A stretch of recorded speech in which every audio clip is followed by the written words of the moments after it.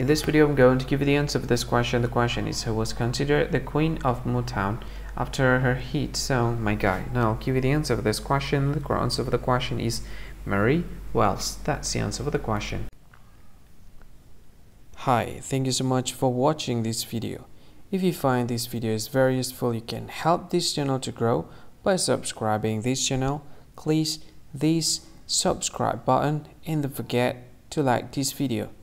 And if you find this video is not really good or you don't really like this video or you kind of feel that it's a little bit offensive or something like that, you can click this one, dislike button. You can do that anyway and if you want to share this video with your friend you can share it by clicking this share button and you can share it to any any social media that you wish that is currently available at this time like Facebook, Twitter, LinkedIn and many others right? And if you want to add this video to your playlist you can click this one. You can watch this video later and you can find more options by clicking these three dots.